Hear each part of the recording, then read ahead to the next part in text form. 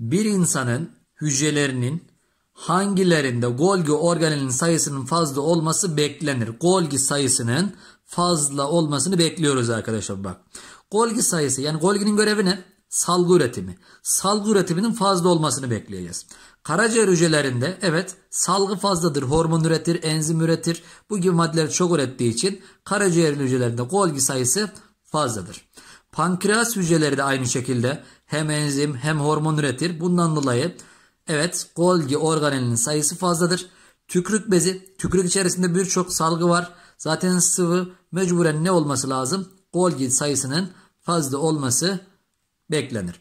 Gözyaşı yine sıvıdır. İçerisinde salgı bulunur arkadaşlar. Bu salgıları üreten yine Golgi'dir. Bundan dolayı gözyaşı bezinde de bol miktarda Golgi bulunur. Cevabımız E seçeneği olmalıdır.